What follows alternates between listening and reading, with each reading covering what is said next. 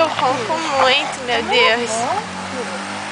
Não pesa mais de 40. O da Beck, é que a- a- nós temos uma sobrinha que ela comprou um budó